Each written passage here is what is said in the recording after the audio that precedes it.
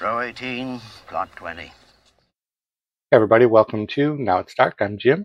Today we are bringing back a Saturday morning circus. And if you're not familiar with this segment, it is a segment that's bounced between this and one of my other channels a few times. It's where we highlight uh, horror movies that are predominantly clown based horror films.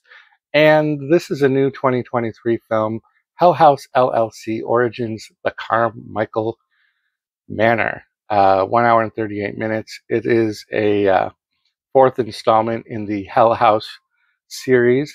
It is a horror mystery. It's about a group of cold case investigators that stay at the Carmichael Manor. After four nights, the group was never heard from again. What is discovered on their footage is even more disturbing than anything found on the Hell House tapes. Stephen Cognetti brings us this by writing and directing it. And uh, Bridget Rosa Perrotta plays Margot Bentley. Destiny Leoni Brown plays Rebecca Vickers. James Liddell, Chase Bentley. Gideon Berger plays Patrick Carmichael. Catherine Carmichael is played by Kayla Bergicani. And Victoria Andrinick Margaret Carmichael. Those are like some of the main cast members.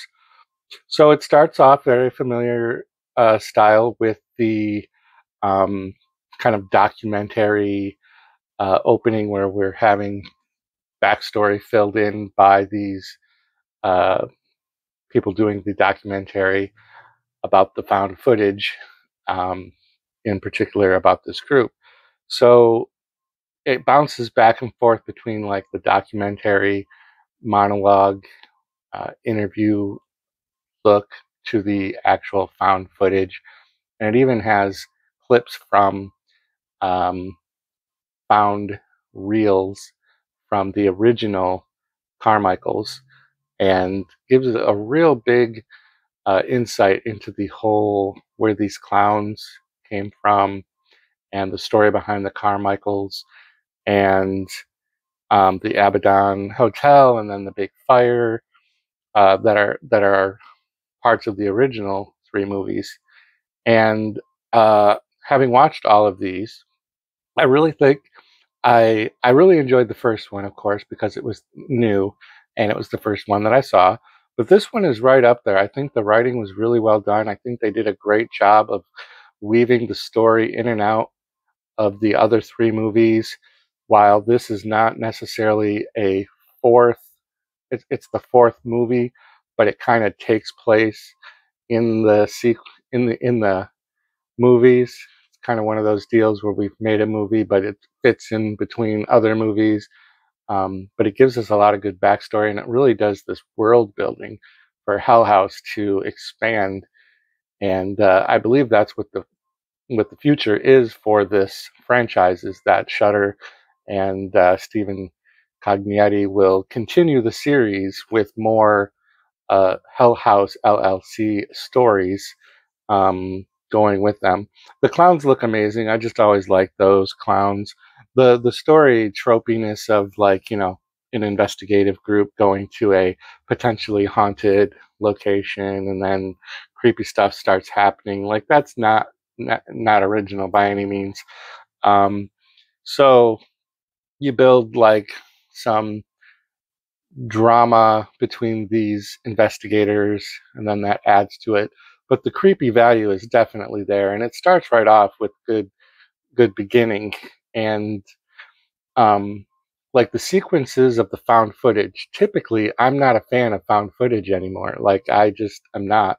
But this one worked for me. I was engrossed enough in these moments of found footage story that when they interrupted with the documentary giving more information, like I was like, oh yeah, I forgot they're doing it this way. Like, and it happened more than once, and it only happens like four or five times. But I, a good two or three times, I was like, oh yeah, I forgot. This is, um, you know, this is not us watching in real time. This is us being given the footage that is being covered by this documentary. Um, but it's easy to forget that. This is on Shudder, by the way. I mentioned it just a second ago. I meant to mention that at the beginning. It has a 6.3 star rating on IMDb, which is very high uh, for this type of film. Um, just trying to look at my notes here. There's there's a lot of cool stuff. There's um, like I said, they find some film reels when when a couple of the investigators go to this antique store in town that's uh, mentioned to them by the caretaker of the Carmichael Manor uh, when they arrive to have their five night stay.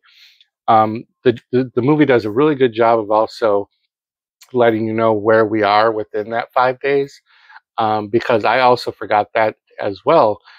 Um, because it tells you, you know, night one, night two, night three, night four. And I'll tell you what, the the suspense and scary and creepiness really amps up by night four. And I, I just really enjoyed this film. Um, if you can make me forget like the way that this movie is being uh, presented to you in a good way, you know, that's a positive because, like I said, I'm not a big, huge fan of uh, found footage anymore. Um, but uh, this one has been getting really good reviews. I've been wanting to give a review for this for a while, but I wanted to wait until I brought the Saturday Morning Circus back. Um, yeah, so that just a quick reaction to this movie. Uh, not a whole lot of detail into the story because there's a lot of other videos that you can go to for that. But uh, let me know your thoughts on the Carmichael Manor and what you think the future of the Hell House LLC uh, should look like or what you'd like to see in the future. Um, definitely want to see more of those clowns though, because clowns are funny. Clowns make you laugh, right?